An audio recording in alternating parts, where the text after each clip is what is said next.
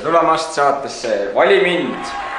nagu igas saates saab seekord üks võistleja minna romantilisele reisile koos kaaslasega. kes on see seekord, vaatame. kutsume sisse meie esimese võistleja.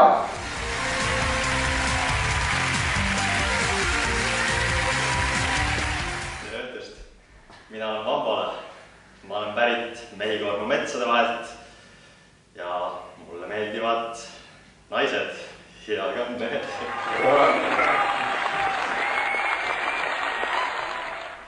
väga meeldiv. aga kas on ka keegi siit silma jäänud juba? no ei vaidle vastu. ja nüüd, osalejad, on teil võimalus valida, kas minna selle noormehega reisile või mitte. palun tehke oma valik.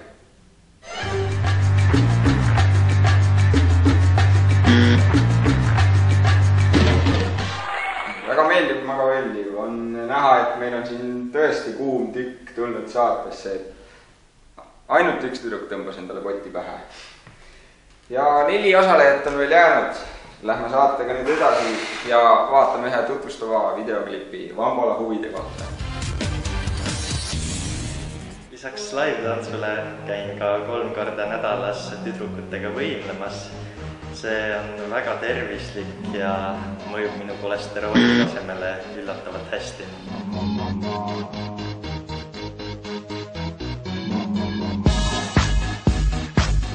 Äh, tantsin siis äh, sellises tantsugrupis nimega Three Girls and One Boy ja oleme osalenud ka tiitlivõistlustel. viimati käisime võistlusel nimega koolitants kaks tuhat üksteist, kus saavutasime üllatava üheksakümne kolmanda koha.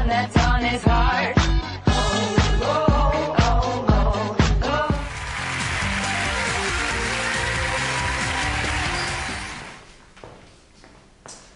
nii, Marta. aga miks sa koti pähe tõmbasid? Issand, on ju pede. vaatame, mida meie täkka siis teha oskab. algab talendivoor. lisaks tantsule peitub minus ka suur kunstianne. üks, kaks, kolm, mustvalge näis, kuni pintsel minustki üle siis käis. ja nüüd minu maailm värve on täis ja nii ta meie maailma maalimas käib ja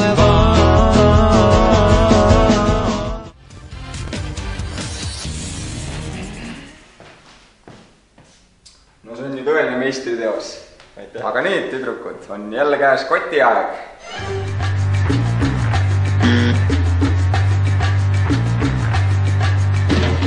no kuidas tundub?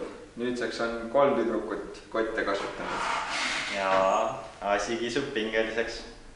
jah, aga nüüd on sul nüüd viimane võimalus esitada alles jäänud imekaunitele meheotsijatele omapoolne küsimus. ja minu küsimus teile on järgmine. Mis teile minu juures kõige rohkem meeldib? Anu, palun ütle oma vastus. ilus sihvakas poiss, miks mitte? sul on väga ilus nina.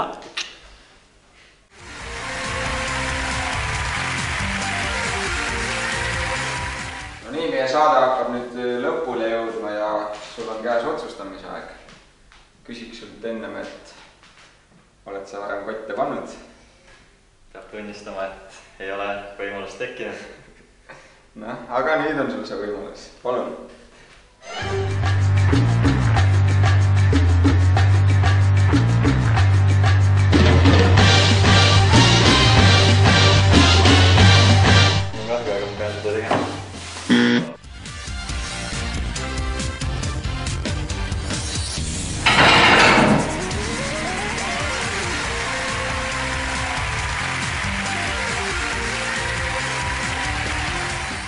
Ja romantiline Ibiza, talvine Otepää ning külm ja vihmane Šotimaa.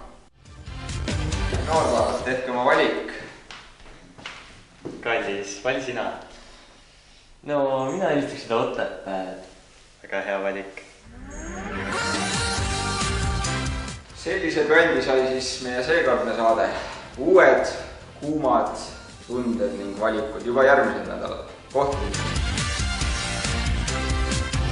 kohe, kui Vambol sisse astus, sain aru, et ta on minu. ma ei tulnud just siia saatesse meest otsima, aga seekord läks nii.